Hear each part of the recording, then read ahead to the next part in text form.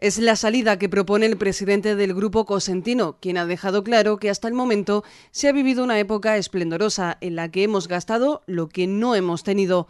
Son declaraciones que ha hecho justo antes de participar en los actos que la Cámara de Comercio celebra por su 125 aniversario, donde ha explicado que para el abandono de la actual coyuntura económica es necesario conjugar las dos luchas principales que se mantienen en distintos ámbitos como son la austeridad y el crecimiento.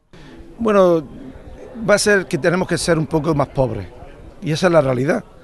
Es la economía de España hemos vivido una época esplendorosa que hemos gastado lo que no hemos tenido.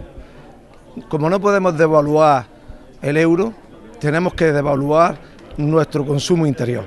Y eso, así por ahí va el tema. Siempre tratando que si lo hacemos bien no perderemos el estado de bienestar de la gente más necesitada, que creo que es lo que debemos luchar. En este sentido, ha apuntado que la recuperación de la economía también estará influida por la internacionalización de las empresas y considera que hay que prepararse más ante la competitividad internacional. Los empresarios españoles se han dedicado mucho a la economía interior y tienen que trabajar más la internacionalización. Y para trabajar más la internacionalización tienen que hacer varias cosas.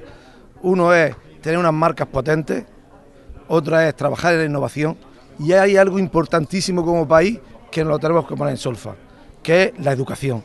La educación va a ser la clave del futuro. No podemos pensar que porque seamos españoles vamos a ser más competitivos. Hoy el mundo es global y vamos a competir con naciones que están creciendo muchísimo más que nosotros, gente muy preparada y gente muy trabajadora. Si queremos competir y crear puestos de trabajo, tenemos que educarnos mejor.